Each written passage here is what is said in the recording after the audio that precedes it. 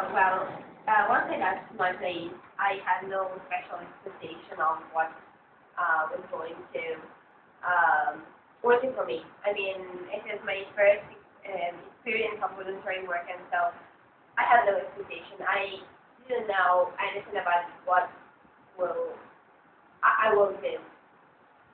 And the feeling I first got was um, difficulty in adapting myself. Um, adapting myself to this kind of work in India because uh, it is like a new way of living everyday life. In fact, uh, clothes are different from, the, the, I mean, the clothes I wear are different from uh, those I wear in in my place. Uh, climate is very humid and and it's very difficult to, for me to cope with it and you can take care of yourself as uh, at your place. But um, for example, when I felt ill, uh, I needed my bathroom, but I have no possibility to have it, and so I had to adapt myself at this. And finally, I am very happy of um, having adapted myself to, to, to this new world. And so it's just, uh, it has been a, a way to know myself better and it has been some kind of, of challenge and I am very, very happy to um, to, to, have, it. And so, and what about the work?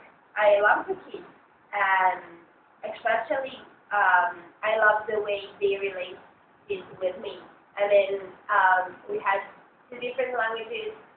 Um, and although we can't, couldn't communicate in a special language because always, uh, also English is not very, I am not in English, very good in English, and so um, it was not so easy to communicate.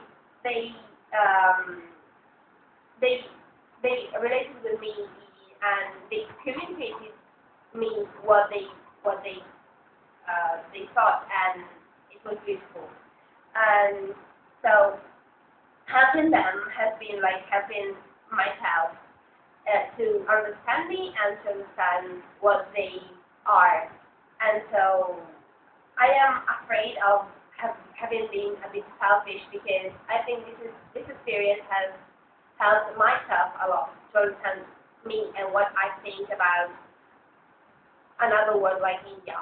And so the feeling I get is I've been helped myself more than having helped the children. And I hope it is not like this. And so finally, I am very, very happy with this experience and I want to thank you to um, having given me the opportunity to know myself